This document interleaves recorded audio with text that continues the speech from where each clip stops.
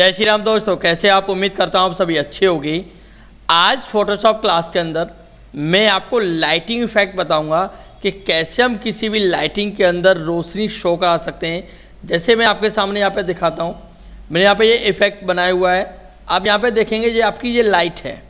अब यहाँ पे मैं देखिए इस लाइट की आइज़ क्लोज करता हूँ तो यहाँ पे आप लाइट देखेंगे तो सिंपल लाइट दिखाई दे रही है। अब मैं जैसे इसकी आइज़ ओपन करता हूँ तो यहाँ पे क्या दिखाई दे रहा है? इसके जैसे हमारी जो नीचे रोशनी पड़ती है लाइट की, उस टाइप से दिखाई दे रही है।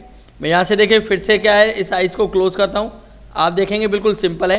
जैसे मैं इस पर क्लिक करूँगा तो आपके यहाँ पर ये रोशनी टाइप से शो रही है। जैसे मैंने आपको एक और इमेज बनाई हुई है, आप इस पर क्लिक करेंगे तो देखिए आप यहाँ पर भी देखेंगे। तो मैं इसकी आइज़ क्लोज करता हूँ तो मेरी क्या है, ये सिंपल लाइट दिखाई दे रही है।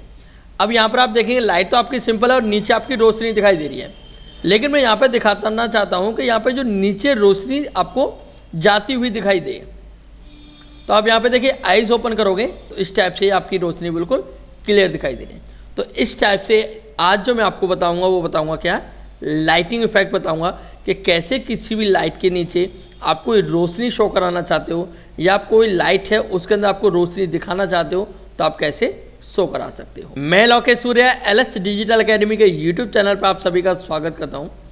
दोस्तों, अभी आप हमारे यूट्यूब चैनल पर नए हैं तो हमारे यूट्यूब चैनल को अभी के अभी सब्सक्राइब कर लें, प्लस बेल आइकन को प्रेस करना ना भूलें, ताकि ऐसे ही आने वाली वीडियो की नोटिफिकेशन आपको टाइम टू टाइम मिलती रहे।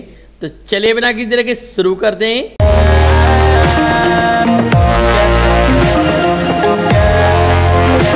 तो देखिए, जो आज मैं आपको बताऊँगा, जो रोशनी क्रिएट करना बताऊँगा, वो सिंपल वे के अंदर बताऊँगा। इसके लिए आपको कोई सी फ़िल्टर के अंदर रेंडर के अंदर जाके लाइटिंग का कोई यूज़ नहीं करना है। क्या फ़िल्टर में आएँगे रेंडर में आके लाइट तो आप उसके लिए क्या करेंगे? सबसे पहले आपको क्या करना है कि यहाँ पर एक न्यू लेयर लेनी है। तो न्यू लेयर लेने के लिए आप या तो यहाँ पर क्लिक करेंगे। यहाँ पर देखिए ऑप्शन है क्या? क्रिएट ए न्यू लेयर या तो आप यहाँ से क्रिएट ए न्यू लेयर ले सकते हो, या फिर आप लेयर मेन्यू के अंदर जाके यहाँ से भी आप न्यू लेयर ले सकते हो।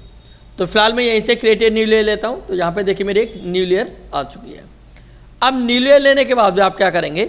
यहाँ से आप लीजिए रेक्टेंगुलर मार्की टूल आप यहाँ से कौन सा टूल लेंगे? रेक्टेंगुलर मार्की टूल लेंगे। यहाँ से रेक्टेंगुलर मार्की टूल लीजिए। और रेक्टेंगुलर मार्की टूल लेने के बाद में आपकी जो लाइट है, उस लाइट के नीचे इस टाइप से रेक्टेंगल ड्रॉ कर दीजिए। ठीक है? जैसे मैंने ये रेक्टेंगल ड्रॉ किया।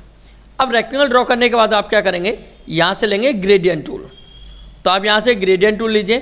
ग्रेडियंट टूल लेने के बाद में जो आपको यहाँ पर फोर बैकग्राउंड कलर है, आप यहाँ पे देखेंगे जो फोर बैकग्राउंड कलर है, आप इसे रखिए white for background colour white रखने के बाद में जो आपके यहाँ पे ग्रेडियंट शो कराता है, यहाँ पे जो ग्रेडियंट की आपकी क्या है स्टाइल्स हैं, आप यहाँ पर आएँगे। यहाँ पर आने के बाद आप बेसिक्स पर क्लिक करिए और आपको क्या करना है, ये वाली ग्रेडियंट लेनी है, जो कि इसके अंदर क्या होगा फोर बैकग्राउंड टू ट्रांसपेरेंट मतलब आपका जो कलर दिखाएगा, वो फोर बैकग्राउंड कलर दिखाएगा। और नीचे जो दिखाएगा वो कौन सा कलर दिखाएगा? ट्रांसपेरेंट कलर दिखाएगा। तो यहाँ से मैं ले लेता हूँ क्या? फोर बैकग्राउंड एंड ट्रांसपेरेंट मैं यहाँ पे फोर बैकग्राउंड ट्रांसपेरेंट पे क्लिक करता हूँ। उसके बाद यहाँ पे मैं ग्रेडियंट ड्रॉ कर देता हूँ इस से। तो देखिए, जैसे मैं ग्रेडियंट ड्रॉ करूँगा तो मेरे स्टेप से यहाँ पर ग्रेडियंट शो कराएगा। अब ग्रेडियंट शो कराने के बाद क्या करता हूँ? मैं यहाँ पर कंट्रोल प्लस टी मतलब फ्री ट्रांसफॉर्म का यूज़ करूँगा। तो मैं यहाँ तो सिंपल कंट्रोल प्लस टी का यूज़ कर सकता हूँ।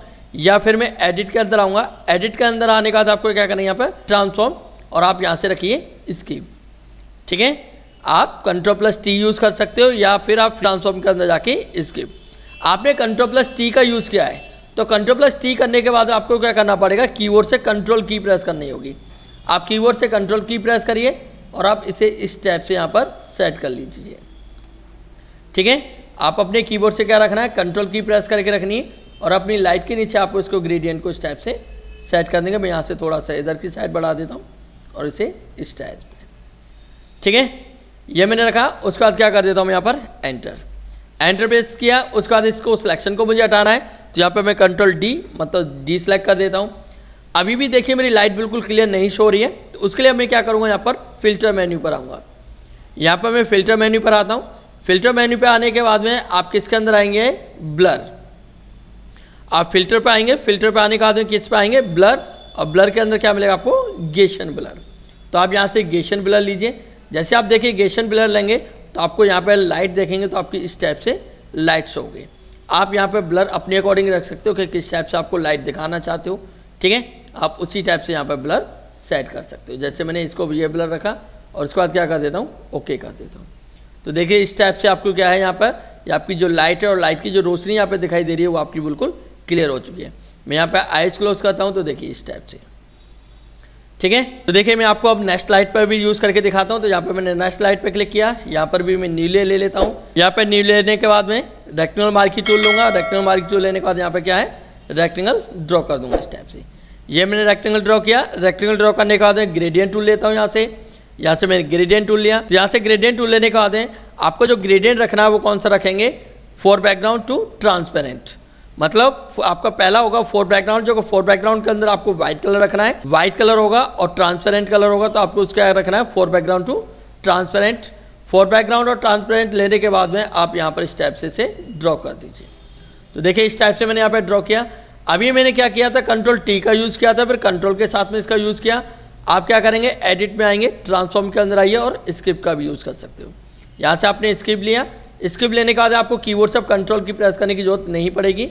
आप इस टाइप से इसके स्किप कर लीजिए इस टाइप से। ठीक है? आप यहाँ से इसे और आगे बढ़ाना चाहते हो तो आप यहाँ से इस टाइप से बढ़ा दीजिए। ये। देन उसके बाद में एंटर की प्रेस करेंगे। ये मुझे सिलेक्शन हटाना है तो कंट्रोल डी कंट्रोल डी के साथ मेरा सिलेक्शन रिमूव हो जाएगा।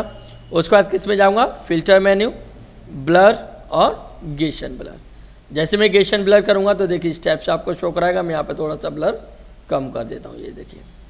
ठीक है? देन उसके बाद ओके मूव टू लेने के बाद इससे थोड़ा सा मैं यहाँ पर मूव करा लेता हूँ नीचे की साइड ये देखिए। तो देखिए, इस टाइप से आपको क्या है, किसी भी लाइट के नीचे आप रोशनी दिखाना चाहते हो तो बड़ी आसानी से आप इसे शो करा सकते हो। आज मैंने आपको लाइट के नीचे रोशनी क्रिएट करना बताया कि कैसे हम किसी भी लाइट के नीचे रोशनी क्रिएट कर सकते हैं।